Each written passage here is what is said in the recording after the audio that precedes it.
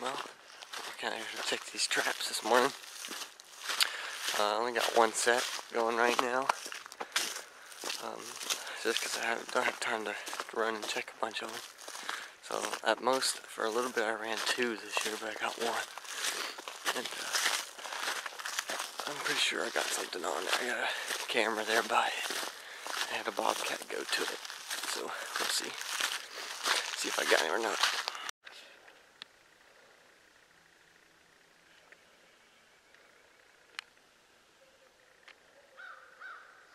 Beautiful sunrise.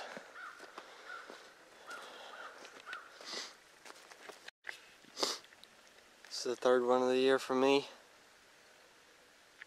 Pretty cat. Not a very big one. The other two I caught were pretty big, but he's a pretty one. So, you can see my setup there. I got him funneling into there. I actually got him. He's been coming in for the last week or so now. And I couldn't get him with just two, so I added a third one, and now I got him on, on three feet. So, it's pretty good. Right. Decent sized female. She's pretty. Pretty spots. Size pretty feet on her.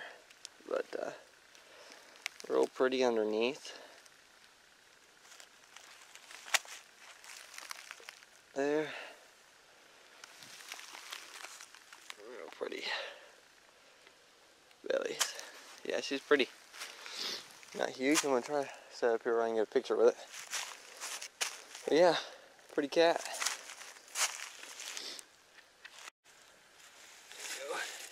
She. Set back enough where you can see her.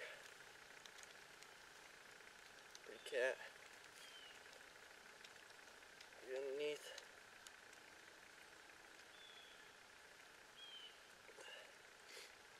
It's number three on the year. Guys, I was wrong. It's a male. I'll be sure to put the pictures of the two, uh, the other two males I caught. The three males on this farm I've caught now. So, yeah.